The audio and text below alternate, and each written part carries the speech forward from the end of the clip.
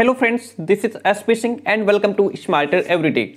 According to Lucknow university BEd first semester में कुछ students के पास पेपर है फोर्थ शिक्षा में नवाचार और कुछ स्टूडेंट्स के पास है वैल्यू एंड पीस एजुकेशन तो आज हम पहले बात कर लेते हैं जो शिक्षा में नवाचार है इनोवेशंस इन एजुकेशन इसके टॉप टेन लॉन्ग क्वेश्चंस मैं आपको प्रोवाइड करा रहा हूँ।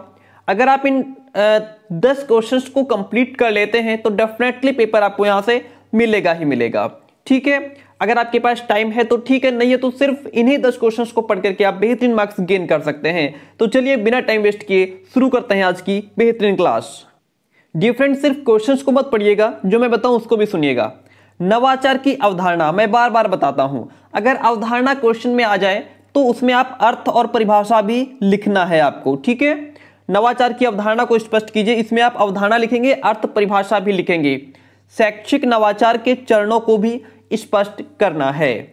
Second wise second one is सामाजिक परिवर्तन का अर्थ और परिभाषा। सामाजिक परिवर्तन क्या है? इसका अर्थ लिखेंगे, परिभाषाएँ भी लिखेंगे।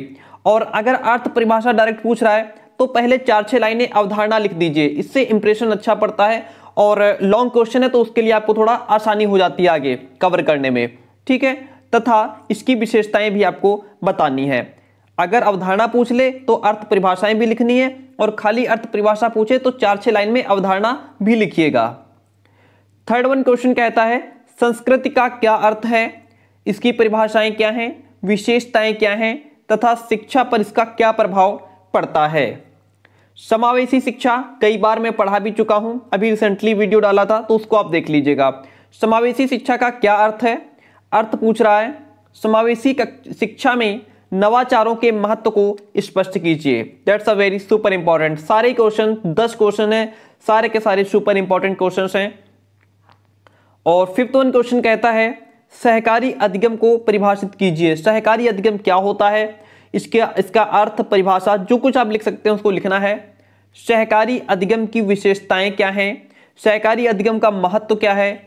इस पर आपको प्रकाश डालना है। सिक्स क्वेश्चन है, आंगनबाड़ी कार्यक्रम से आप क्या समझते हैं? जो आंगनबाड़ी कार्यक्रम है, उसके बारे में आपको लिखना है। अगर क्वेश्चन आ जाए, आप क्या समझते हैं? क्या समझते हैं में भी आप अवधारणा, अर्थ, परिभाषा लिख दीजिएगा। किस प्रकार शिक्षा में नवाचार इस कार्यक्रम के माध्यम से किया जाता है? बढ़ते हैं नेक्स्ट क्वेश्चन की तरफ़। सेवंथ वन क्वेश्चन कहता है, शिक्षक स्थापना क्या है? शिक्षक स्थापना क्या है? अगर स्थापना क्या है तो इसमें जितना आपको आता है अर्थ, परिभाषा, अवधारणा लिख दीजिएगा। शिक्षक स्थापना के महत्व और उसे प्रभावित करने वाले कारकों को संक्षेप में, संक्षिप्त में बताना है। जीवन कौशल, शिक्षा की आवश्यकता और उद्देश्यों का उल्लेख कीजिए। जो जीवन कौशल शिक्षा है, इसके बारे में आपको इसकी आवश्यकता बतानी है, प्लस इसके क्या उद्देश्य हैं, ये बताना है। नाइन्थ वन क्वेश्चन कहता है शिक्षा में नवाचार में सी ए एस ई यानी कि सी ए एस ई केस की क्या भूमिका है? तो ये केस आप पढ़ करके जाएँगे बेहतरीन तरीके से दैट्स अ वेरी इंपॉर्टेंट और आज का लास्ट क्वेश्चन आपका टेंथ वन पर्यावरण शिक्षा की आवश्यकता एवं महत्व का वर्णन कीजिए। पर्यावरण है, ज़ाहिर सी बात है डेफिनेटली आपका आएगा ही आएगा, ठीक है? तो ये मेरा दूसरा यूट्यूब चैनल है, आप मुझे यहाँ फॉलो कर सकते हैं लिंक डिस्क्रिप्शन बॉक्स में दिया हुआ है। चलिए, ठीक है।